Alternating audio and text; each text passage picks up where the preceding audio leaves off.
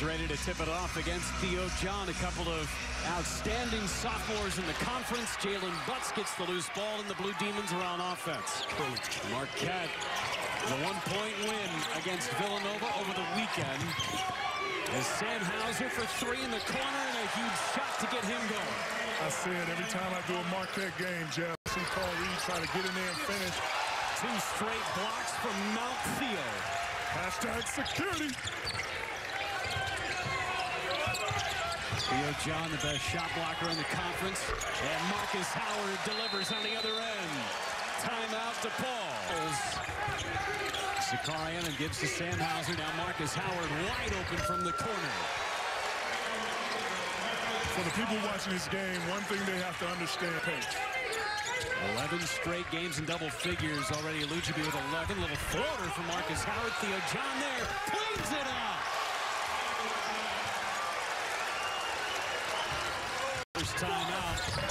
Got that one. Sam Hauser is there for the rebound numbers for Marquette. Hauser transition three. Got another. Sam Hauser only had four. Chartouny transition three. Chartouny rim no. Marl offensive rebound. Morrow's good. A man. They have to get back to that before they close out the half. Go down low. There's Morrow. Extra dribble, and he finished. Yeah, two weeks or so ago. And Steve Wojciechowski nearly brought to tears. And another guy who hasn't had a lot of PT lately, Jamal Cain. Maury Pons, look out. Six to shoot. Howard behind his back. Shreiner in his face. Howard answers the call. Hauser going around the edge. On the open man. Ball movement. Paid off. Howard feeds Sam Hauser. There's Jamal Cain. Good ball fake. Jamal Cain. Slippery. With the foul trouble going on top of it, making sure the shot clock is right. Howard on the curl.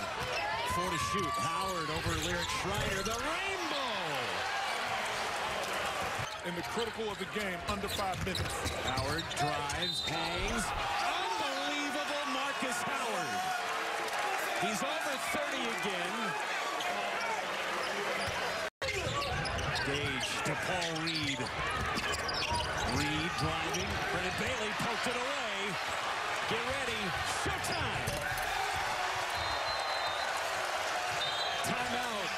DePaul. Offensive rebound by Theo John. Howard, deep three. Got another one. Unconscious. Who is top in the country offensively and a veteran team with veteran players and an explosive scorer like Markus Howard. And that's why they're able to walk away with the win of this game.